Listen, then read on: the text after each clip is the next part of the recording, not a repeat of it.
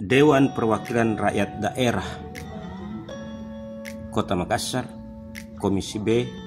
bidang keuangan dan ekonomi. Adapun tugas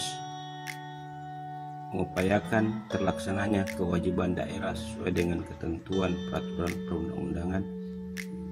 melakukan pembahasan terhadap rancangan peraturan daerah dan rancangan keputusan DPRD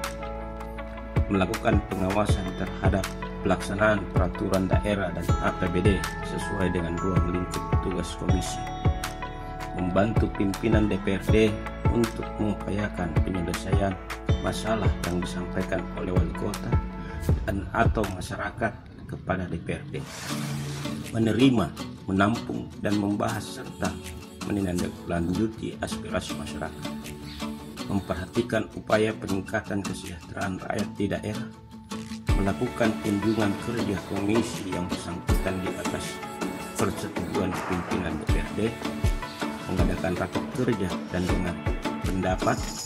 mengajukan usulan kepada pimpinan DPRD dan termasuk dalam dua bidang tugas komisi B. Memberikan laporan tertulis kepada pimpinan DPRD tentang hasil pelaksanaan